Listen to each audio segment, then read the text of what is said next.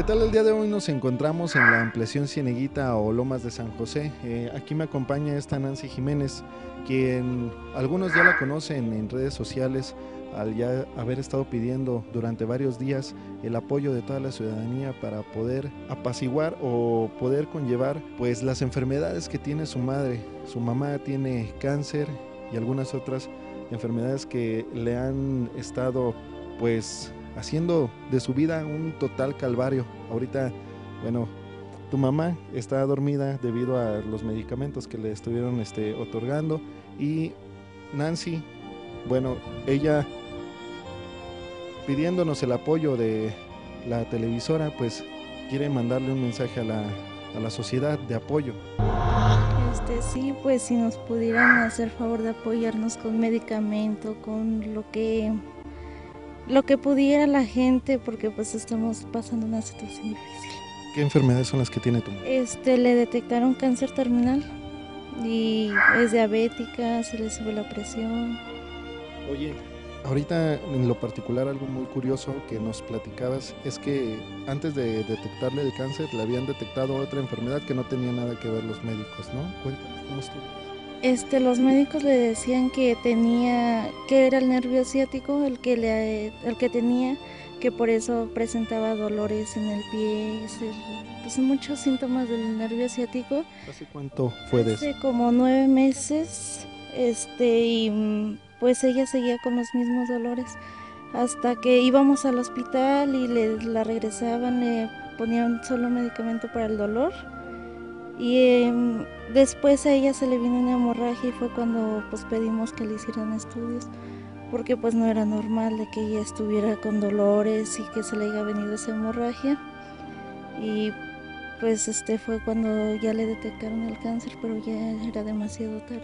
Le llevaron a, otro municipio, también nos decía. Nos este, le mandaron solicitud para el Hospital Regional de León, pero pues ya de ahí nos dijeron que ya no había nada que hacer, que ya era muy avanzado. Sí, ¿cuántos años tiene tu mamá? 45. Oye, pero nosotros platicábamos con ella, si no mal recuerdo, hace aproximadamente dos semanas que estuvimos aquí de visita, porque en lo particular aquí a un costado es la casa donde vivía la familia Luna Luna. Eh, en este sitio, pues bueno, vive la mamá de Nancy, quien ella nos comentaba la situación en la que vivía esta familia Luna Luna, los niños, este Antonio Luna, quien refería que Antonio Luna pues eh, se la pasaba aquí jugando con ellos y en una entrevista pues ella todavía la veíamos pues dentro de lo que cabe, dentro de sus enfermedades todavía la veíamos bien, porque ella se acercó con nosotros caminando, nos platicó la situación eso fue hace aproximadamente dos semanas, pero ahora, ¿qué fue lo que pasó? Ocho días que ella decayó mucho, este, ya no se para de la cama, ella uno tiene que estarla cambiando de pañal en la cama, y pues ahorita ya van, de antier se empezó a sedar porque los dolores ya son fuertísimos. ¿y no han podido llevarla al médico? No, no contamos con los recursos para llevarla a otro médico más o menos cuánto les piden o, en la última ocasión cuánto fue lo que se gastaron? Este, la verdad eh, ya no, pues no, ya no buscamos más doctores por lo mismo que pues no tenemos los recursos para llevarla a algún otro médico. ¿Qué, es lo que te dice tu mamá? Ahorita ya van varios días que ella ya no habla con nosotros. Bueno, pues ahí está, ojalá que pues sin aprovecharse del dolor de la gente, simple y sencillamente es con la finalidad de apoyarlos.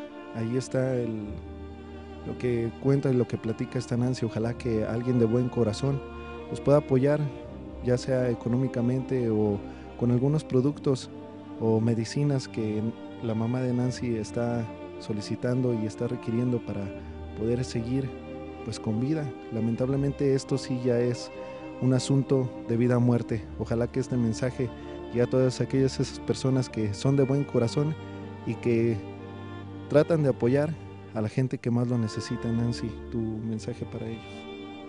Pues les agradezco de todo corazón a, a las personas que pues nos han estado apoyando y muchas gracias a todos. Para el sistema de noticias de TV Independencia con imágenes de Juan Pablo Fiscal informó Juan Alarcón.